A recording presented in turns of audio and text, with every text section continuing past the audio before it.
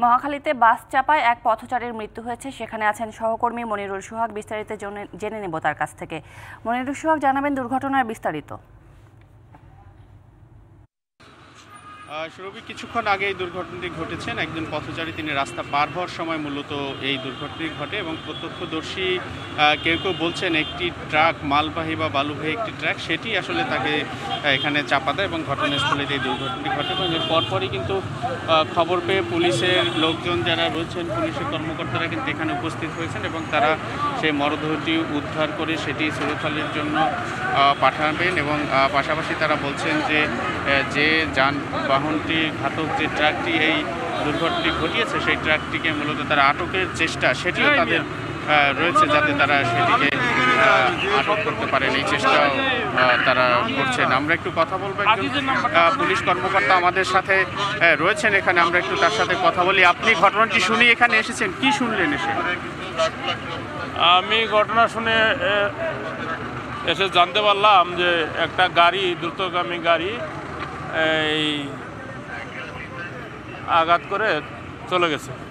যিনি মারা গেছেন তার কি কোনো পরিচয় পাওয়া গেছে এখন পর্যন্ত? না এখন পর্যন্ত তার কোনো পরিচয় পাওয়া যায় না আর যে বাহনটি মেরেছে সেটি সেটি চালককে ধরার জন্য আপনাদের চেষ্টা আছে যে বাহনটি মেরেছে অবশ্যই তাকে ধরার জন্য আমাদের চেষ্টা।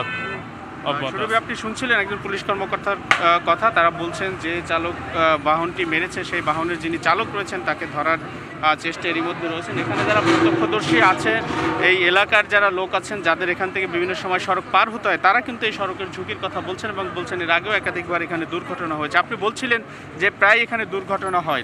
আপনি এই টোনটা করার পরে রাস্তা পুরো ফ্রি হওয়ার পর থেকে মানে গাড়িগুলো এত স্পিড থাকে রোড পার হতে গেলে অনেক আপনার বিভ্রান্তি সৃষ্টি হয়ে যায়। কিছুদিন আগে আপনার এখানে একটা অ্যাক্সিডেন্ট হয়েছিল। এখানে আপনি এই নিয়ে অনেকগুলো অ্যাক্সিডেন্ট হয়েছে। আপনি এই টোনটা করার পর থেকে মানে মানুষ একটা রোড পার হতে গেলে তার জীবনটা হাতে নিয়ে পার হইতে হয়। সেক্ষেত্রে এখানে ফুটওভার ব্রিজ দরকার কিনা আপনাদের এখানে? ফুটওভার অবশ্যই দরকার। আপনি ফুটওভার দরকার এখানে কিন্তু করে রাখতে সেই সাত রাস্তা। কারণ এখানে অবশ্যই দরকার এখানে হাজার হাজার লোক এখানে আপনার পারাপার হয়। এখানে আপনার এত একটা টার্মিনাল এখানে এই জিনিসটা অনেক দরকার। শুরুবে আপনি শুনছিলেন এখানকার বাসিন্দা যারা প্রায় এই সড়কটি পার হন বিভিন্ন প্রয়োজনে এবং মহাখালী বাস টার্মিনালের সামনেই কিন্তু এই ঘটনাটি। সুতরাং এখানে ফুটওভার ব্রিজ যে দরকার এবং যানবাহনের চাপ থাকে, সড়ক পারাপার যে ঝুঁকিপূর্ণ, এই বিষয়টি খুবই সাধারণ ভাবে সবাই মনে করছেন। তো এখানে যারা রয়েছেন তারা চাচ্ছেন নিরাপদ সড়ক হোক এবং সড়ক পারাপার যাতে নিরাপদ হয়, যাতে ধরনের দুর্ঘটনা না ঘটে। শুরু এই ছিল এখান থেকে সবশেষ খবর। মনিরুল সোহাগ, ধন্যবাদ আপনাকে।